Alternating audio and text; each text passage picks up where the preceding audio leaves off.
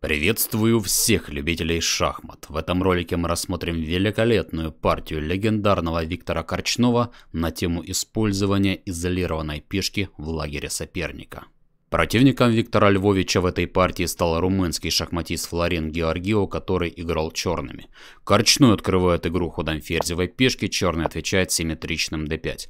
На доске возникает славянская защита, черный укрепляет центр, следует развитие коней. Корчной открывает линию слону, черный избирает хоть и пассивную, но довольно крепкую систему Шлехтера. После хода конь f3 Георгио фенкетирует слона на большую диагональ. Виктор подготавливает рокировку, следует обеспечение безопасности короля и ход конь d7. Белые завершают развитие легких фигур и черные начинают подрывные мероприятия в центре доски для того, чтобы как-то взбодрить своего приунывшего слона, который упирается хоботом в пешку d4. Так после взятия Георгио играет c5, ясно, что продвигать пешку вперед плохо из-за наскока конь b6 с потерей пехотинца, поэтому белый соединяет между собой ладьи. Черный меняется на поле d4 и образует изолированную ферзевую пешку. У данной пешки есть как свои преимущества, так и недостатки. К преимуществам относятся пространственные завоевания, открытые линии, диагонали, вертикали, возможность атаки в центре и на королевском фланге. А недостатком пехотинца является то обстоятельство, что его не защищают сослуживцы, следовательно, чем меньше фигур на доске, тем слабее изолированная пешка. Исходя из этого, черные стремятся в окончание, а белый пытается мутить воду в метельшпиле. Довольно важным звеном плана игры черных является ограничение подвижности изолированной пешки, в идеале ее блокада. Атакованный слон отступает на поле b3, черный связывает коня, угрожая стукнуть и дальше забрать пехотинца на поле d4. Ладья становится в засаду. Здесь выясняется, что брать на f3 не так-то хорошо. После данного размена и удара на d4 белый нападает на ферзя, дальше отыгрывает пешку, получает преимущество двух слонов в открытой позиции и лучшие шансы.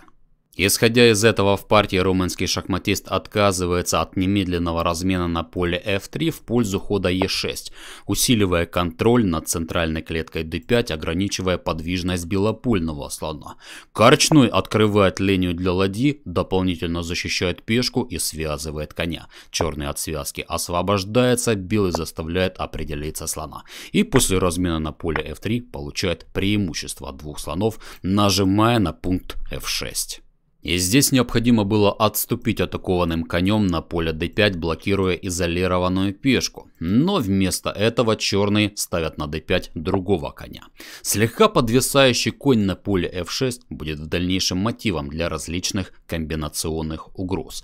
Корчной устанавливает ладью на полуоткрытую линию. Белый сохраняет небольшой перевес пункт D5 оккупирован черными недостаточно прочно, поэтому необходимо внимательно следить за событиями в центре доски, написал в комментариях Виктор Львович. Георгио переводит ладью на открытую линию, но Корчной пробивает на поле f6, как раз используя недостаточную защищенность данного пункта. Оказывается, что слоном-то брать нельзя, поскольку белый пробивает на поле d5, устраняя защитника слона. Приходится забирать на поле f6 именно конем. И Виктор Львович задвинул центральную пешку, используя давление ладьи по вертикали. Угрожает удар на Е6 темпом, нападая на ферзя, поэтому черный сами меняется на поле d5, белый пробивает слоном, атакуя пункт b7. И здесь плохо брать конем, после этого взятия белый создают угрозу хода конь f6 с выигрышем ферзя, а также угрозу хода конь e7 с выигрышем качества. В любом случае качество теряется, поэтому на этот вариант румынский шахматист не идет. Вместо этого он играет ладья b8, защищая атакованную пешку. Слон отступает на поле b3, нападая на ферзя. Здесь лучше всего было предложить размен сильнейших фигур, хотя окончание у черных трудное. Ладья въезжает в обжорный ряд и начинает теребить слабые пешки. Но можно было еще попытать удачу в этом окончании. В партии же Георгио не идет на данную разменную операцию, отступая атакованной фигурой на поле c7. Корчной подбрасывает полений в огонек и дальше закаспаривает коня, нападая на слабый пункт f7. Флорин попытался вернуть ладью на открытую линию, но конь выбивает копытами зубы пехотинцу Федору Седьмому. Разменная операция на поле D1 здесь не поможет, поскольку после данного размена и удара на поле F7 белый использует многочисленные связки, внедряется на седьмую горизонталь и как теперь спасаться. На конь D7 черный король получает матец. Хотя и то, что случилось с партией, также ненадолго продлило сопротивление. Черные сразу забрали коня на поле f7, белый пробивает на d8, дальше забирает пешку на b7. Используя диагональную связку, они подбираются к этому слабому пункту.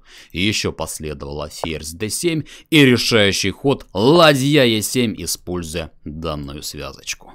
Но и ввиду крупных материальных потерь на 27-м ходу Флорин Георгио признал свое поражение. Друзья, напишите в комментариях, как вы думаете, почему Виктору Корчному так и не удалось стать чемпионом мира. Не забудьте также поддержать ролик лайком, репостом и до следующих встреч.